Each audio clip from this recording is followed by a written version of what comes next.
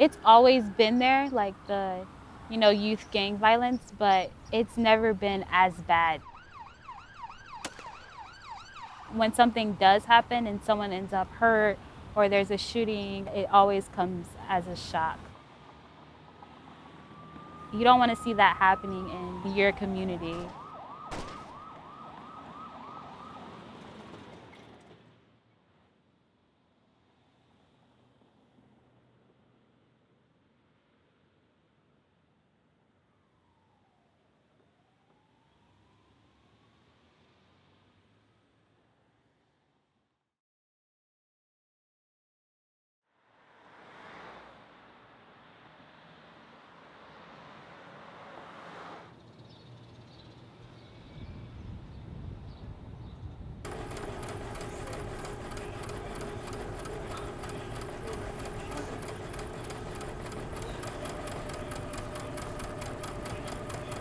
When I first heard about the sewing class, I wasn't too excited about it because it is sewing.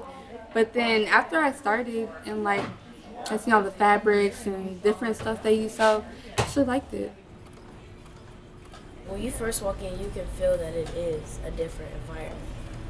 You do feel safe and everybody help you. So it's like a second home.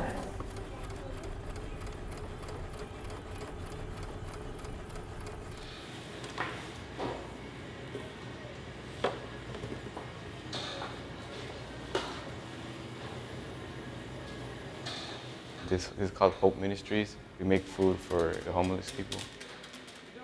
I'm getting more credits. I'm getting some job training, learning how to do basic kitchen stuff, and helping the people, getting food to the homeless people.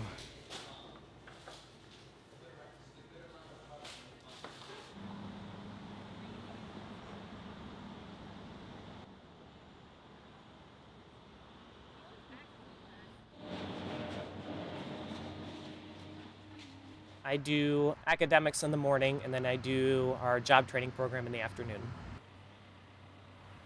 I've learned a lot about operating machinery, safety, basic skills, interacting with other people on the job, just a lot of stuff that can be helpful in the future. So when it comes to getting a job.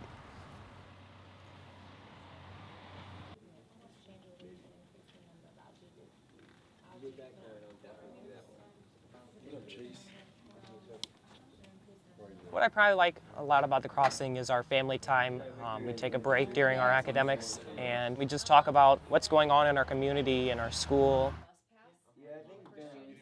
Guest speakers will come to the crossing and talk about what's going on. It makes you think about what's going on in the city. We're pretty much calm there. It's like a peaceful place in the middle of like this youth gang wars and stuff that's going on. They make it feel like home. They give us that feeling that you're safe here. You know, this this is your second home.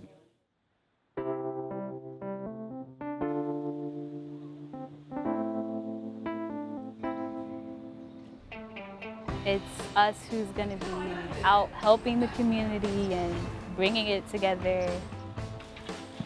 It can be actually fun to go out and help other people and give back. We just help out the community as much as we can. Be a beacon of hope, as well as a place to feel like home.